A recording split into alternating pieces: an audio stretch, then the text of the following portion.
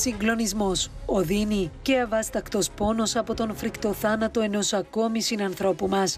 Ουδής φανταζόταν ότι ο άτυχος Παρασκευάς προδρόμου 61 ετών από τη Λάρνακα ήταν η τελευταία φορά που δεν θα έφτανε στο σπίτι του.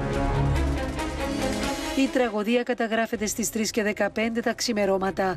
Ο 61χρονος κατευθύνεται με το αυτοκίνητο στον αυτοκινητόδρομο Κοφίνου Λάρνακας προς το σπίτι του. Κάποια στιγμή κάτω από αδιευκρίνιστες συνθήκες, κοντά στην έξοδο των κλαβδιών, αυτοκίνητο που οδηγούσε 42χρονος από την Βρετανία προσέκρουσε βία στο όχημα του 61χρονου που προπορευόταν. Οι εικόνες μαρτυρούν την σφοδρότητα της σύγκρουσης. Το μοιραίο όχημα βγαίνει εκτός πορείας.